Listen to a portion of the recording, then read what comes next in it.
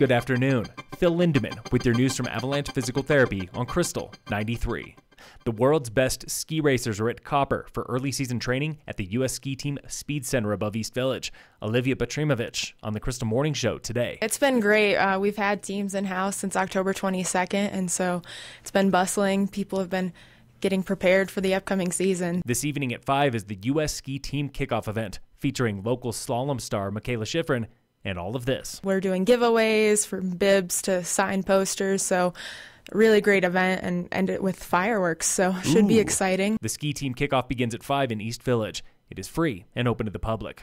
Copper's also got big news about music in late November, happening just two days after Turkey Day. The 27th, that Saturday, we'll have Leftover Salmon performing in Eagles Landing in Center Village. Right. So, so Leftover Salmon to go with your leftover turkey from yeah, Thanksgiving. exactly. Returning this coming spring is the Copper Live series with even more free live music. Chalk Art near Frisco Elementary School warns that clots, heart attack, and stroke are not common in kids. This echoes reports of heart inflammation coming from European studies of the Moderna COVID vaccine.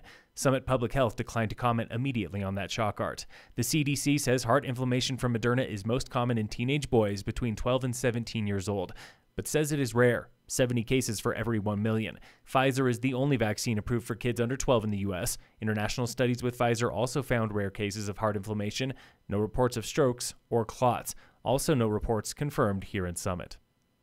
Colorado's Hispanic population has grown nearly 23% in a decade, now representing one in five people statewide. And a new survey shows Hispanics are most concerned about workforce equality and access to basic amenities. The Latino policy agenda gives lawmakers a baseline for meeting those needs and addressing concerns for the state's largest minority. In the high country, Hispanic concerns reflect longstanding community concerns, improving graduation rates, building workforce housing, and lowering the cost of healthcare. Hispanics also want wages that meet the cost of living here.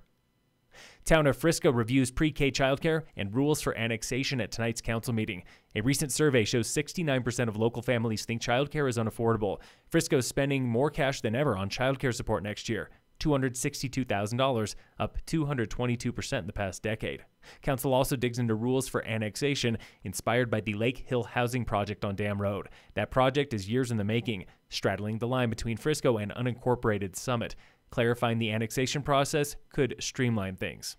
Big meeting in Breckenridge tonight, where Town Council hears new laws for accessory dwelling units, approves first reading of the 2022 budget, and holds a hearing for a sprawling development at the Gondola Base Terminal. Breck hopes to update building code so that accessory dwellings are easier to build and more appealing. This was one solution to the local housing shortage. For budget, the town is spending $76.5 million on capital projects and the general fund next year. Revenue from both should be over 92 million. And at the Gondola, council voted 6 to 1 last month for a second reading on timeshares, condos, and a parking structure development. Hearing for that begins after 7 tonight. And in local sports, opening weekend for the Breckenridge Vipers semi pro hockey team is in two weeks, November 19th and 20th. The Vipers play the Reno Ice Raiders in Breck. First race of the A Basin Rise and Shine Rando Series went down this morning, still waiting on official results. Phil Lindeman with your news from Avalanche Physical Therapy on Krystal 93.